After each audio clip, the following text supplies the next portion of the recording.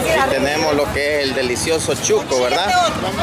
Este el chuco con frijoles y con chile. Va, regáleme una demostración cómo se prepara el chuco. Ah, como una, una demostración cómo. ¿Cómo prepara? Digamos que yo quiero, va, él quiere un chuco. Vamos a hacer uno. ¿De quién es este? ¿Quién lo quiere? Vaya, con chile. Aquí está, ¿ves? La tita siempre lo hace buena. Yo guacalitos de morro. Sí, los guacalitos de son, son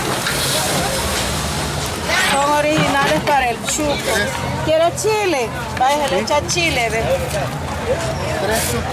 Vaya, ya se los doy. Ok, aquí estamos viendo cómo se prepara el delicioso chuco.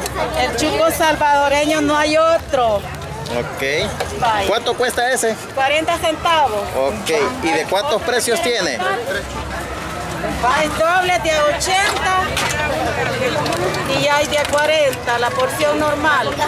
Vaya, este Pueden ver, el chuco es una bebida muy propia de los países de la región mesoamericana. Somos hijos de los hombres del maíz y entre ellos esto es uno de los platos Es una bebida típica. típicos de nuestro querido país y que lo pueden disfrutar mucho en Quesaltepeque, en el Parque Morán.